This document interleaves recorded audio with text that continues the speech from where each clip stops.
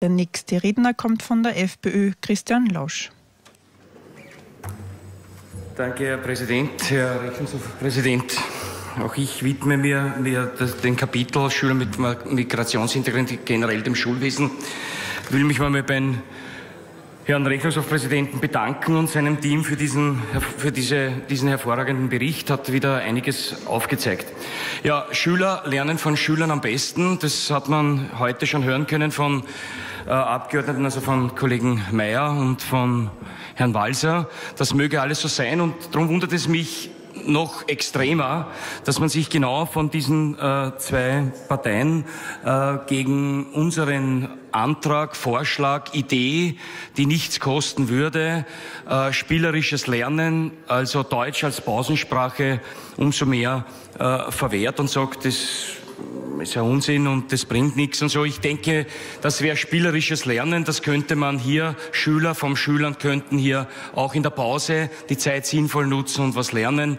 Und ich kann Ihnen nur sagen, von äh, Schülern beziehungsweise auch jetzt schon mittlerweile Erwachsene, aber die in, in, Österreich in die Schule gegangen sind mit Migrationshintergrund, die gut integriert sind, die bestätigen das und sagen, sie haben in der Schule immer Deutsch gesprochen, auch in der Pause und haben auch in der Freizeit natürlich ihre Heimatpflege genutzt und auch ihre Kultur beibehalten und so weiter und so gut. Und so soll es auch sein, weil ich denke mir, nach der Schule ist genug Zeit. Und der Rechnungshofbericht zeigt ja auch eines auf, dass man im Schuljahr 2010, 2011 laut einer Schätzung des Ministeriums des BMUKK rund 14 Millionen Euro für den muttersprachlichen Unterricht aufgewendet hat.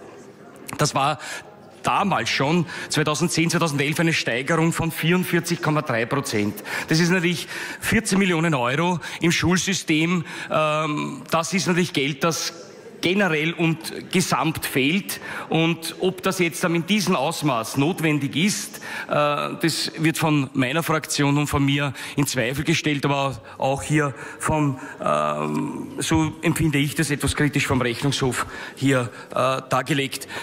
Ja, was noch erschreckend ist, das war im Schuljahr 2012, 2013 gab es äh, 5367 Schulversuche in Österreich. Das sind quasi 50 Prozent der Standorte wurden hier mehr oder weniger äh, Schulversuche durchgeführt. Und schauen Sie, wenn man das jetzt am Vergleich, das ist ein Bundesministerium, sparsam, wirtschaftlich, zweckmäßig äh, hat das zu arbeiten. Und äh, erschreckend ist aus meiner Sicht das. Jeder Private, jede Firma würde fragen einmal, was kosten diese Schulversuche? Was kostet das?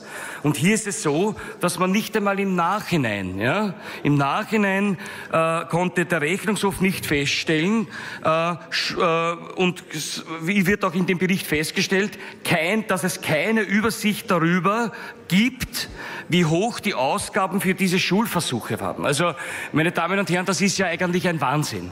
Das ist ja eigentlich ein, ein Irrsinn. Man startet einmal Schulversuche und nicht wenige, ja, nicht wenige, 50 Prozent der Schulstandorte, weiß nicht einmal im Vorhinein, was das kostet, erkundigt sich auch gar nicht und auch im Nachhinein weiß man bis heute eigentlich nicht, was diese Schulversuche gekostet haben. Das Geld fehlt natürlich in der Bildung, das fehlt schwerlich in der Bildung und mit diesem Geld könnte man wahrscheinlich Sinnvolleres in der Bildung machen. Und das ist natürlich traurig, dass ein Bundesministerium eigentlich so arbeitet. Und darum danke ich den Rechnungshof äh, doppelt, dass er genau solche Sachen, solche Missstände aufzeigt, um hier das Parlament zu unterstützen. Noch einmal herzlichen Dank. Großartige Arbeit. Dankeschön. Christian Lausch von der FPÖ kritisiert die zahlreichen Schulversuche. Der nächste Redner